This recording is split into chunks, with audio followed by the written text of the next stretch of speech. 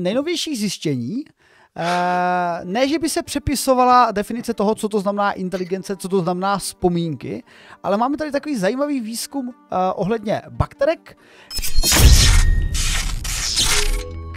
a to bakterek E. coli, neboli, no vlastně E. coli, nevím, jaký mají český přepis, prostě E.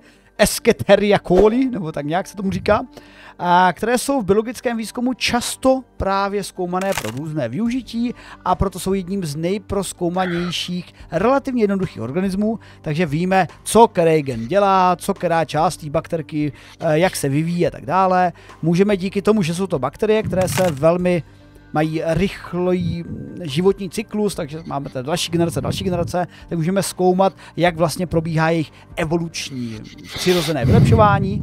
Tak eh, vydátoři zjistili eh, pod vedením ne, my, Souvika Batacharie eh, z Delawareské a Texaské univerzity, že studovali tak zhruba 10 000 bakterek na postupných bakteriálních testech a odhalili nějaké chování těch bakterek které naznačuje jakoby paměť. A vzhledem k tomu, že bakterky nemají mozek ani pokročilou nervovou soustavu, a když řeknu paměť, tak myslím to, že si třeba něco pamatují ze svého dětství, je krátkodobá, dlouhodobá a tak dále, tak tam jako není úplně kde co uložit sakra. A protože Tonda uh, vstoupil do Jámy Lvové a přečetl si i tu původní studii, já bych se ti zeptal, prosím tě, tak jak vidíš tu jejich paměť a je opravdu yeah. tak železná? Tak jako já bych jenom eh, samozřejmě pro, pro, uh, dodal ještě dvě připomínky. To za prvý, že já souhlasím s uh, Vichy Red Six, že za, tu bak, za slovo bakterka půjdete s Ladislavem do pekla, ty a, a, a, když jsem čet, tak ty říkám, come on. To jsou ty naše novotvary.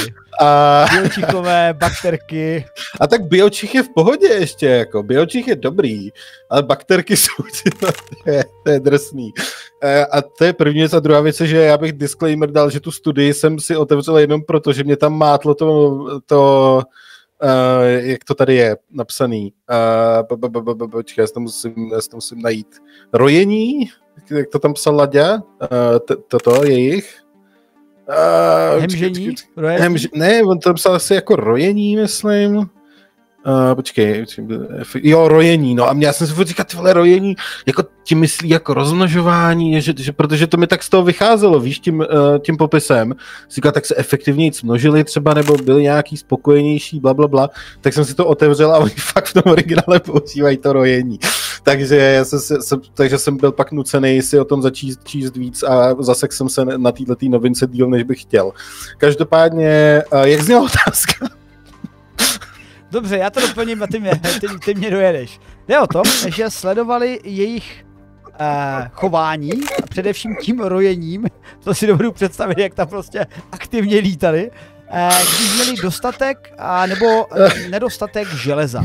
A ukázalo se, že uh, ty bakterie, které nejsou bakterkami, uh, když měli nedostatek železa, tak docházelo k většímu rojení, než když ho měli přebytek. V tom případě byly takové lenivější, méně pohyblivé obecně. A tohle by šlo přirovnat jenom k takovému přirozenému, přirozené reakci těch bakterií na to množství železa. Tom, no, v tomhle tom nehledejme žádné vzpomínky z hashtagy.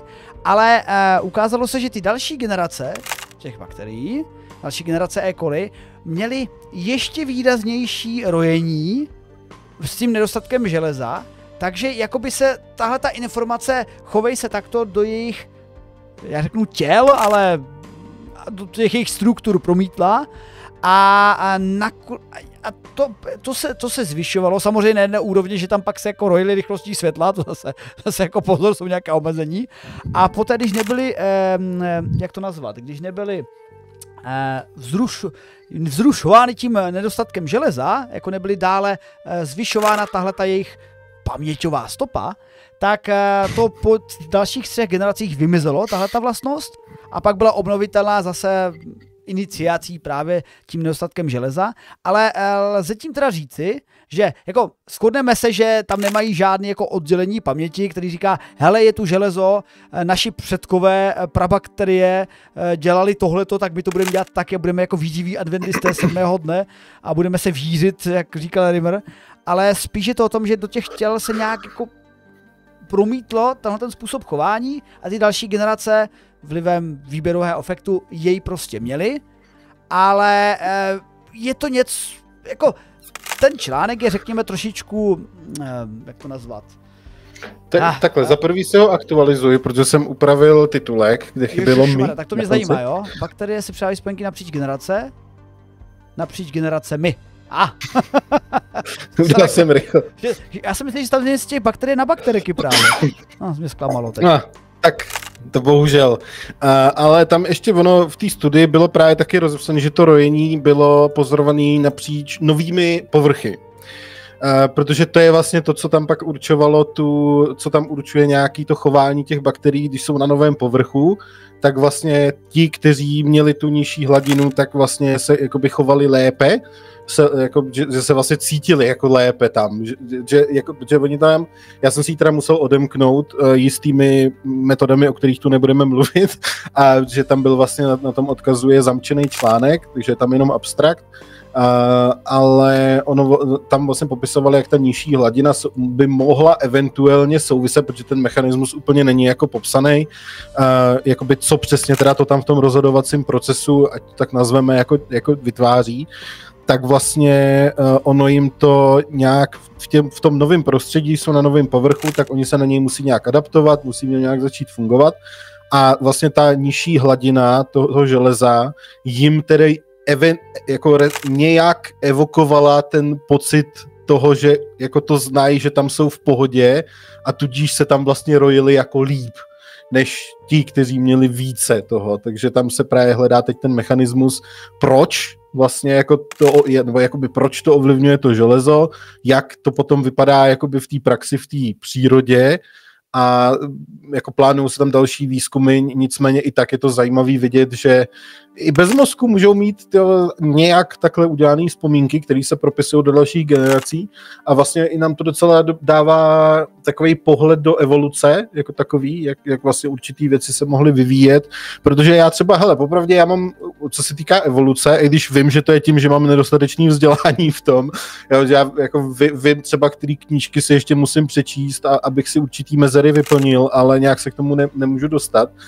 Uh, tak třeba mám tam prostě určitě otázky, jako třeba u určitých organismů, říkám, OK, ty vole, ale jak prostě tam došlo k tomu, že prostě, třeba hele, jo, třeba krásný příklad jsou u prvních žraloků takových, řekněme, uh, jako čelisti v podstatě. Jo, protože předtím, když tam plavali ty, uh, jak, jak se jmenovali, ty amoniti, myslím, že se jmenovali, tak prostě ty většina těch, těch uh, rejpínek se do nich prostě nedostala, protože neměli ty čelisti. A já si říkal, jo, ale jako jak to blbýho žraloka prostě napadlo, že tu čelist mít bude. jako, jo, jako jak? A jak si pak řekl, že to je OK, teda jako, že se nažral, jo, takže prostě taky jako věci, takže, který pak člověk samozřejmě ty mezery vyplňuje. Ale takže i tenhle ten výzkum je takovou jednou z, může být takovou zase jako dílkem do té skládačky, jak to ta příroda umí zařídit, že některé věci si zkrátka prostě takhle zapamatuje i bez toho mozku, že, že na to úplně není potřeba třeba, ale že, že i takhle na té molekulární úrovni si tam umíme třeba a třeba nějakým signálem tu informaci přenést do té další, do další generace, což je strašně cool. Tolik nejnovější novince na kanále Vydátor. Pokud se vám líbilo, dejte like, koment nebo přímo odebírání našeho kanálu. Pokud se vám ve videu něco nelíbilo, taky to napište do komentáře a minimálně nám zvýšíte dosah, ale třeba se i napravíme v budoucích videích. Na viděnou!